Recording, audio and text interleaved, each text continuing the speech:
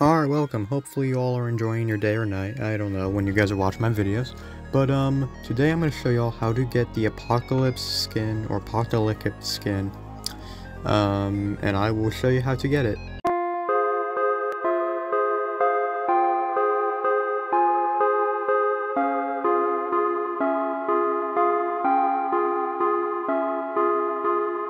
Alright, so I'm using the skin viewer to do this, but this is the Apocalypse skin. Looks pretty cool. Here's the sounds.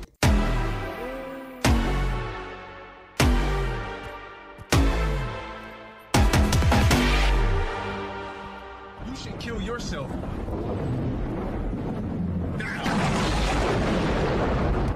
Average admin. Now, I will say a little thing, it should just pop in your inventory once you buy it, but if it doesn't, just make a ticket and show the proof that you did, and then you should have it. I will be showing you how to get to the link, but if you don't want to, just go to the link in the description and you'll see it right there. To start this, go to Pavlov's Prison Life Discord, which will be in the pinned comment.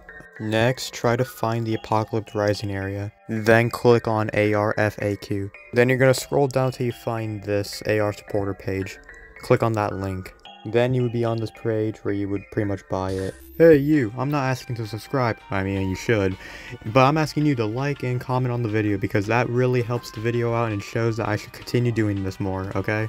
And it also proves that you watched this far, so um, if you do, um, thank you. Here's some extra info before I close the video.